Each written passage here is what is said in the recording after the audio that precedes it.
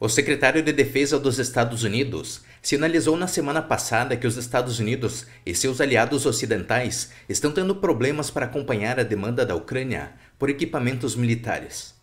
Para alguns analistas, isso indica que os estoques de determinados equipamentos estão chegando ao fim, enquanto que para outros, o governo americano está ficando mais cauteloso para evitar uma escalada.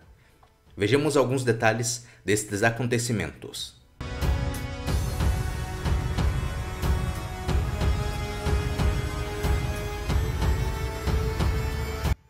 Secretário de Defesa, Lord Austin, sinalizou na semana passada que os Estados Unidos e seus aliados ocidentais estão tendo problemas para acompanhar a demanda da Ucrânia por equipamentos militares avançados necessários para conter a Rússia.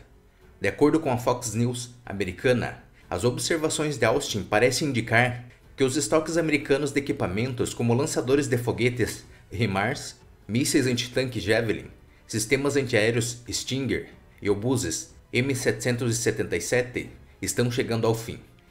Em uma coletiva de imprensa na quarta-feira da semana passada, Austin foi questionado se os Estados Unidos e outras nações estão preocupados com a falta de suprimentos para ajudar a Ucrânia. Este se esquivou da pergunta, enfatizando que existe o desejo de conseguir o que a Ucrânia precisa, mas não disse se os aliados da Ucrânia podem realmente entregar isso.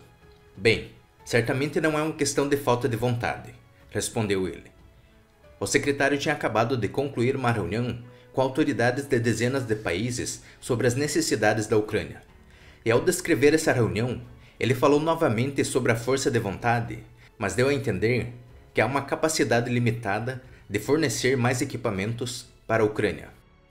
Produziremos e entregaremos essas capacidades altamente eficazes ao longo dos próximos meses, em alguns casos, anos, mesmo enquanto continuamos a atender aos requisitos de autodefesa mais urgentes da Ucrânia, em tempo real, disse Austin sobre o compromisso mais recente de enviar RIMARS, veículos, sistemas de radar e outros equipamentos.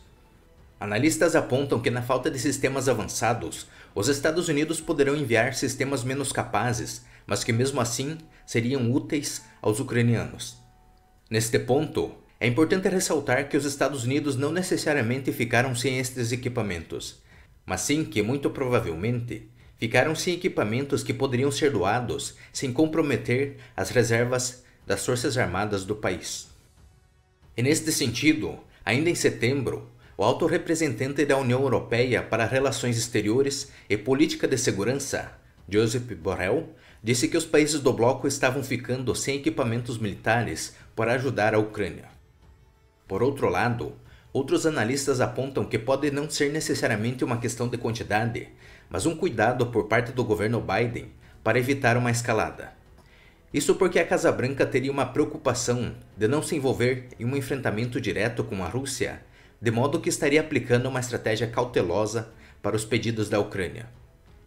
E um sinal desta cautela é que o governo Biden permitiu que quase 2,8 bilhões de dólares autorizados pelo Congresso para fornecer ajuda militar à Ucrânia expirassem algumas semanas atrás, no final do ano fiscal de 2022.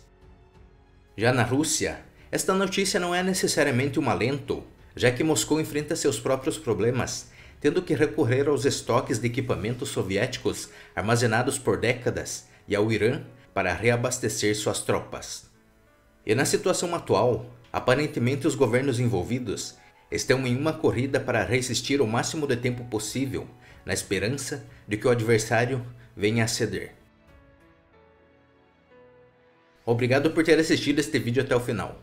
Se gostou do conteúdo, deixe seu like, compartilhe com seus amigos e se inscreva no canal para nos incentivar a fazer mais vídeos como este. Até o próximo!